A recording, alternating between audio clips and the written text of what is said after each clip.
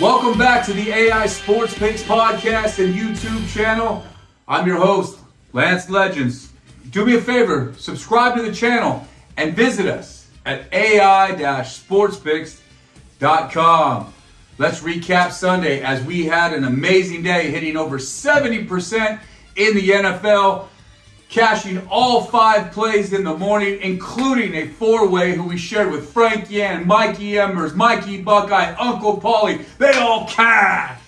Shout out to OG and the White Suge Night. Shout out to my boy TB. Let's hope he's all right. We haven't heard back from him. Big night Saturday. He crushed it. Anyway, shout out to all the followers. We really appreciate all the love. We carried that momentum into Sunday night as the Niners absolutely pummeled the Cowgirls.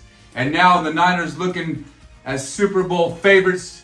And we absolutely hammer the Niners first half, second half. As the game went, it didn't matter. We kept betting it and we kept cashing.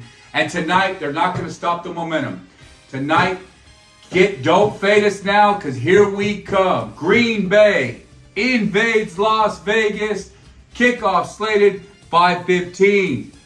Now, we got some Really weird line movement on this one, fellas, as the Raiders are now minus two and a half.